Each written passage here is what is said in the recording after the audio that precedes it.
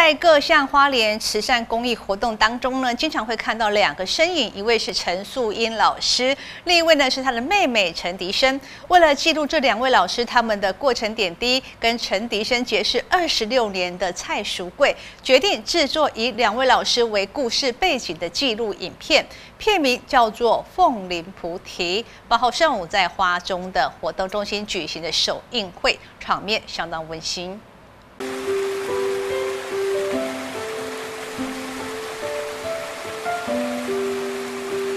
在一个小小的这个这个村庄里，但是却来了一位，我认为一个非非常伟大的老师，也可能改变我们人生的一个老师。我觉得他很有创意，教法非常生动，然后亲自示范，然后学生一看到，哎，可以教我了，那所以就表现出来的，那就是一种一种真心喜爱。他第一次接鼓励的大里面也是陈老师带我们去。我们第一次的出题练习都是陈老师给的，到现在我还在用陈老师推荐的，那六年起教育。我们俩很熟的，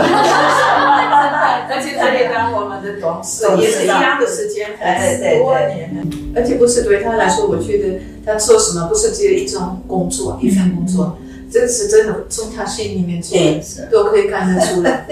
对，把爱放进去了。影片中的受访者都细数着陈淑英老师还有陈迪生老师的故事，也就是因为有这么多故事题材，让蔡淑贵起心动念要制作以两位老师为故事背景的纪录片，片名就叫做《凤林菩提》。跟陈老师。相识差不多二十六年，就是陈迪生老师。那时候他叫做陈树月老师，就常常到陈老师的集传生活坊用餐，看到很多照片，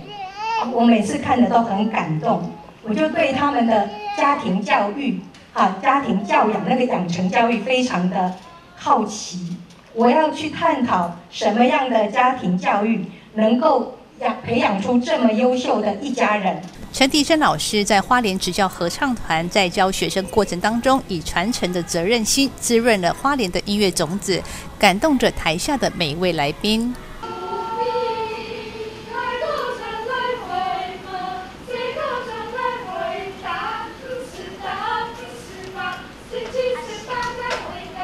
音乐的音乐，一通电话我接了慈济护专的合唱，一通电话、两通电话、三通电话我接了慈济儿童合唱团的合唱团，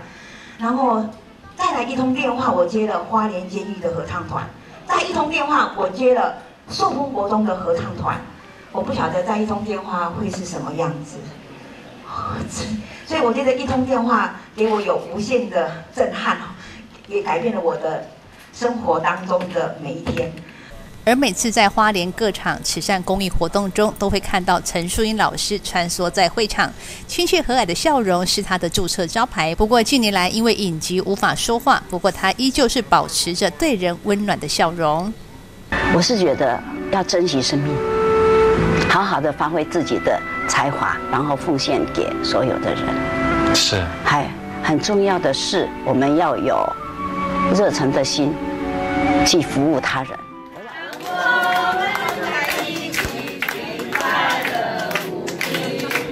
纪录片首映会上，结识这两位老师的社团友人都前来送花道贺，让会场更加的温馨。据刘明胜华联市报道。